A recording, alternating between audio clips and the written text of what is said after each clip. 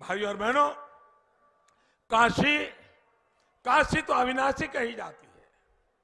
और काशी के लोग, जब भी विश्वनाथ धाम परियोजना को लेकर गर्व का अनुभव कर रहे थे तो उस समय हमने एक और अनुभव किया। हम सभी ने देखा कि भारत की राजनीति में कुछ लोग किस हद तक नीचे गिर गए?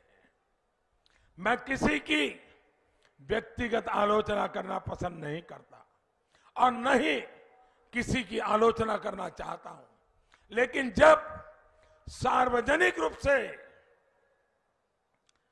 सार्वजनिक रूप से काशी में मेरी मृत्यु की कामना की गई तो वाकई मुझे बहुत आनंद आया। मेरे मन को बहुत सुकून मिला। मुझे लगा मुझे लगा कि मेरे गौर विरोधी भी ये देख रहे हैं कि काशी के लोगों का मुझ पर कितना स्नेह है।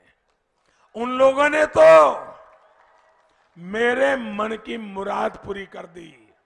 इसका मतलब ये कि मेरी मृत्यु तक न काशी के लोग मुझे छोड़ेंगे और न ही काशी मुझे छोड़ेगी।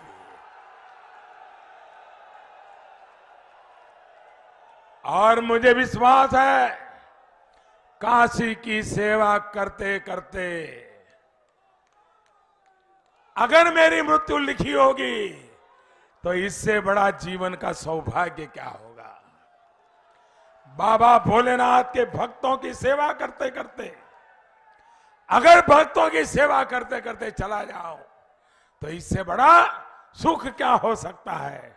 साथियों, उन गौर परिवारवादियों को मालूम नहीं है, ये ज़िंदा शहर बनारस है। ये बनारस मुक्ति के रास्ते खोलता है, और अब बनारस विकास के जिस रास्ते पर चल पड़ा है, वो देश के लिए गरीबी से मुक्ति के रास्ते भी खोलेगा, अपराध से मुक्ति के रास्ते खोलेगा। यही मार्ग परिवारवाद में जकड़े भारत के लोकतंत्र को भी मुक्ति का रास्ता दिखाएगा।